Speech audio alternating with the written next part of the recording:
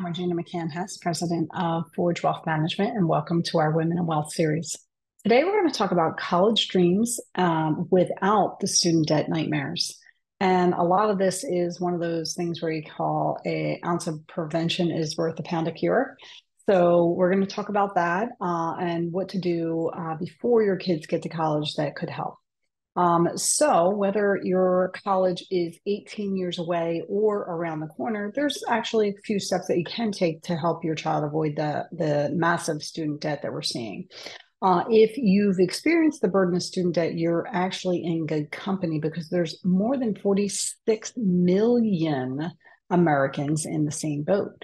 Uh, and student debt in the United States has swelled to a $1.75 trillion number. So, no wonder it's a common conversation uh, when everyone's talking about college. That is one of the biggest things that comes up. So, how do you help your child avoid the burden of student debt? Uh, how do you do it while you also still pay your own bills and save for your retirement? Are you still also paying off your own student loans? The most important thing to recognize is that there's no one size fits all solution. Everybody has a different situation, everyone's needs are different, um, everyone has different expenses and priorities, and that's okay uh, we can do what we can do um, that will hopefully help yourself. Every little bit that you can do is is going to potentially help you. So here's where we're going to discuss some of the expenses and challenging decisions you may make when trying to save for your uh, children's ed- education. So a few key points. Uh, most parents expect to share the cost of college with their children through the student loans.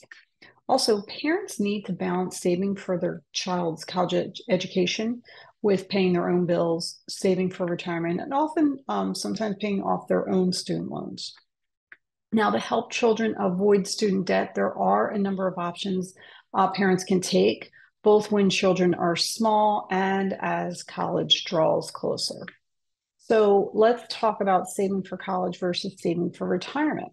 Uh, trying to save for your child's education at the expense of everything else may be unwise. First and foremost, work towards accumulating an emergency fund of at least a few months of living expenses. Um, and because that's always a good idea to prepare for a rainy day.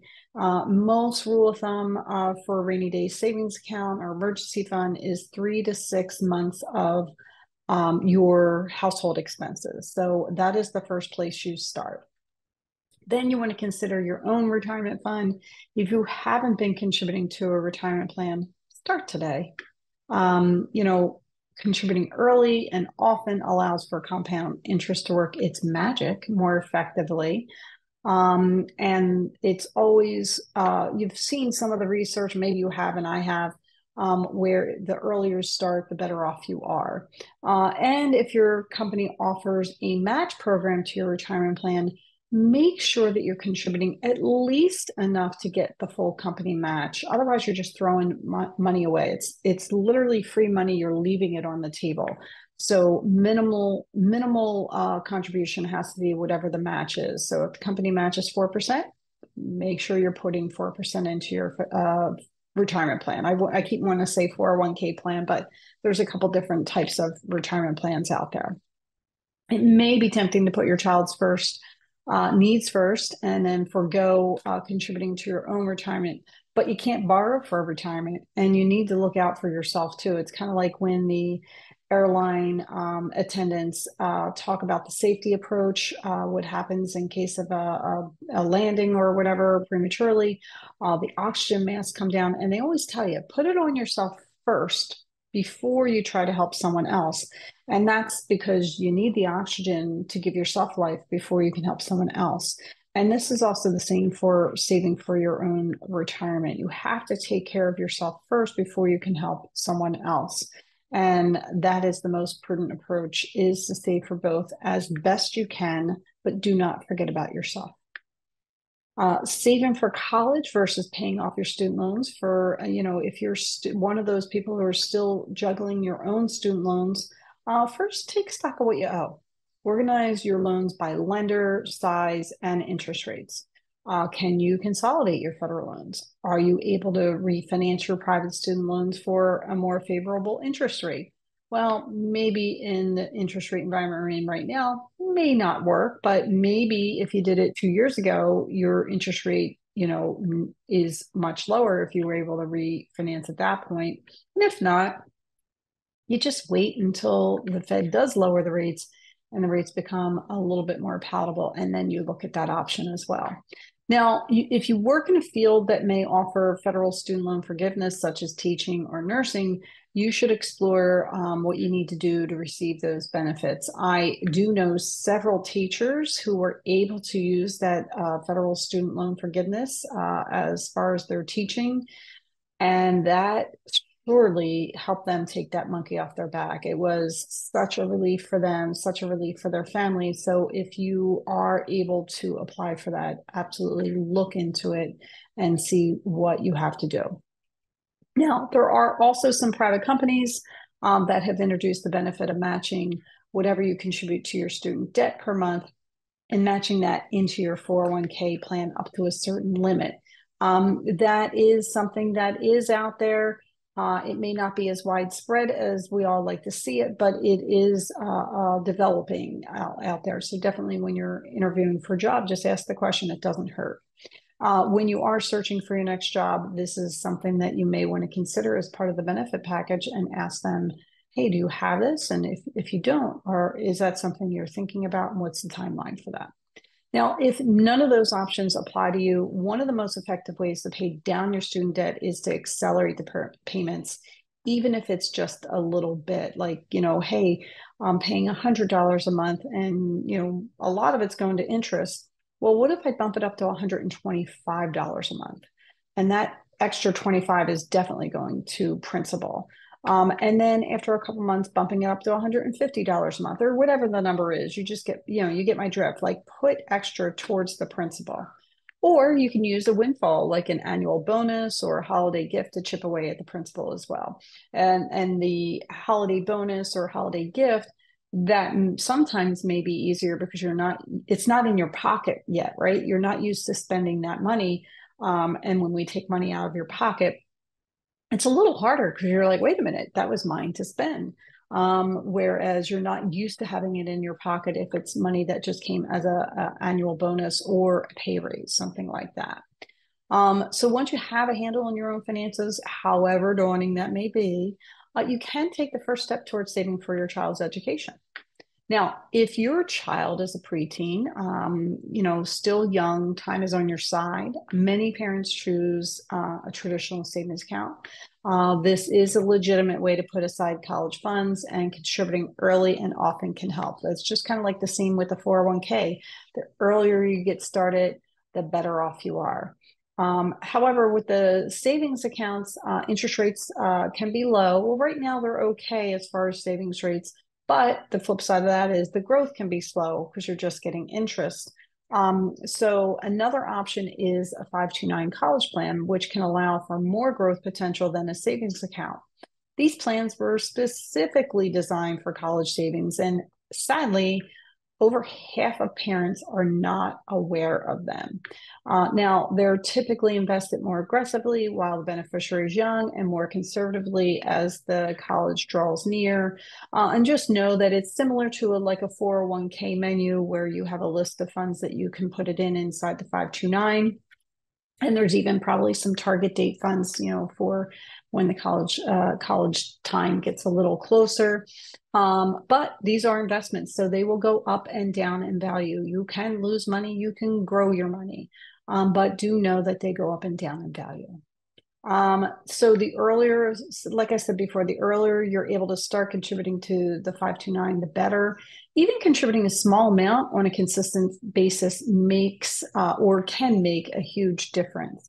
Um, those funds may grow over time um, thanks to compound interest and the power of the market. You kind of just make it like another bill for yourself, like your monthly mortgage.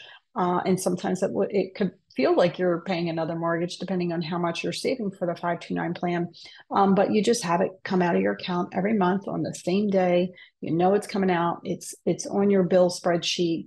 Um, and you're kind of paying yourself first um, to help save for your kids' college expenses.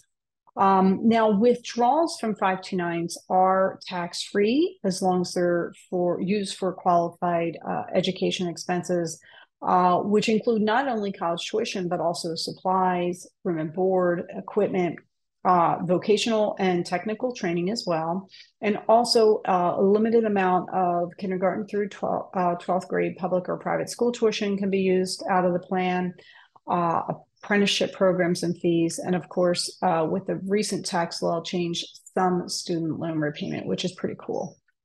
Now, the bottom line is they are highly flexible, effective savings tools. Uh, you will have to shop around for the best 529 plan for you because the tax advantages do vary uh, plan to plan and state to state. I'm lucky I'm in the state of Pennsylvania. So I can use any 529 plan and still get my tax benefits uh, for the, from the state of Pennsylvania. But um, my counterparts in other states are not so lucky. They may be required to use a specific 529 plan. And if that's the case, hey, you're still doing the 529 plan. The idea is that you're doing uh, something that's going to help you down the line and help your family. Now, you can re- research different uh, plans online or work with a financial professional to find out which savings tools are best for you. Uh, so definitely take uh, take advantage of that opportunity. Google can be your friend.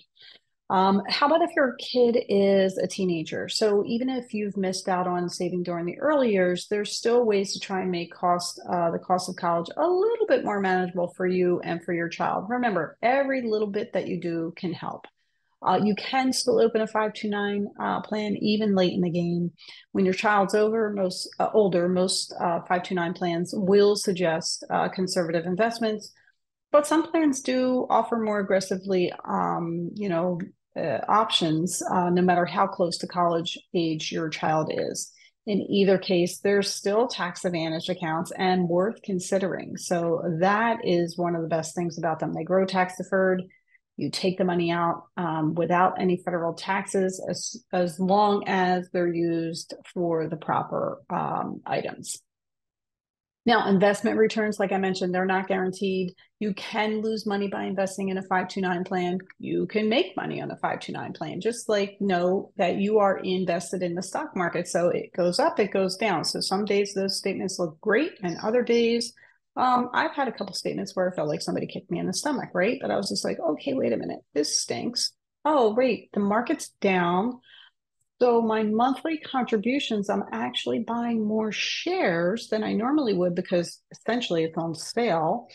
Um, and uh, eventually, when the market goes up, uh, my statement's going to look a lot better. So, you know, sometimes you have to have those conversations with yourself, just like I do, um, and um, know that you know, depending on what age your child is, you know, it could be a long term uh, plan.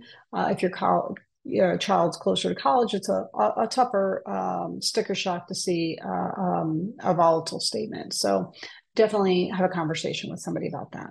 Now, the year before your child heads off to college, you may um, complete, or you actually should complete, uh, something called a free application for federal student aid, or FAFSA for short. And everyone talks. The reason they use FAFSA is because who wants to say all those words, right? But that's essentially what it is. You're applying for uh, federal student aid um, by filling out that form.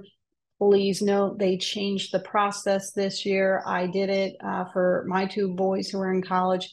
It actually was a little bit smoother um, of an application process. Um, but you know, they're still trying to figure out things in the background. They're having some issues, but you know, that's the same whenever a program changes, they have to figure everything out on the backside of it. But here's the question I get a lot, you know, hey, um, you know, I make a decent amount of money.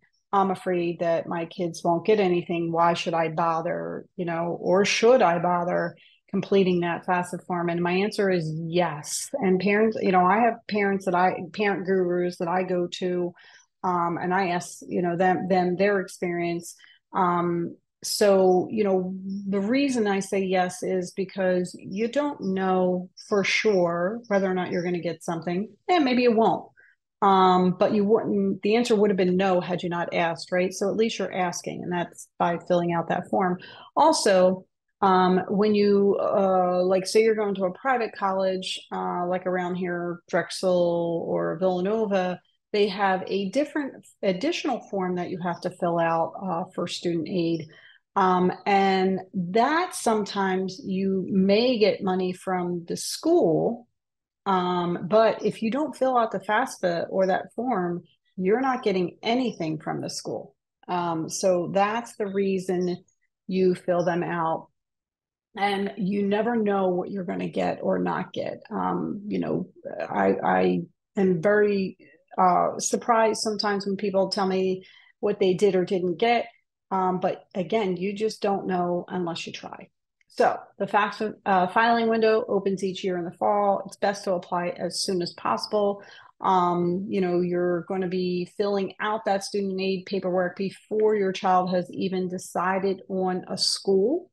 Um, but regardless, some pools of money are limited and some funds are given on a first come, first serve basis. So applying as soon as that filing window is open is beneficial. Um, I think at this point, most uh, people, especially if they have first timers going to college in the fall, they would have filled out the FAFSA by now.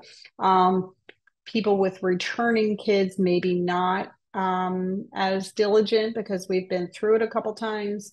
Um, you know, but also you do want to get there it in as soon as possible um, because sometimes, like I said, it is first come, first serve basis. And once that money's gone, it's gone. Finally, talk it out most parents expect to share the costs with their child through student debt. So you need to work together. In the years leading up to college, make sure to let your child know how much of their education will be paid with loans. Uh, this way, your child can start saving, um, pursuing some grant or scholarship opportunities, and they can focus on uh, his or her college to search on schools where the price may be a little bit better.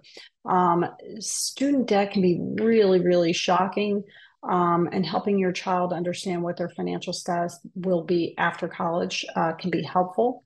Um, some more things to discuss with your uh, future college grad, uh, multiple questions that you can ask them, like uh, are your uh, child loans most likely to be federal or private? What are the associated interest rates? What's a credit score? Uh, how can your child build good credit? How will your child's credit score impact his or her loan interest?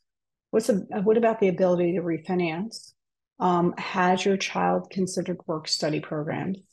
Do any of his or her prospective students offer uh, or schools offer free room and board for resident assistants? So obviously they're not going to offer that for a freshman, but after you've been there for maybe a year or two, um, there are what we call RAs at colleges, resident assistants, and they either get free room and board or a very discounted room and board.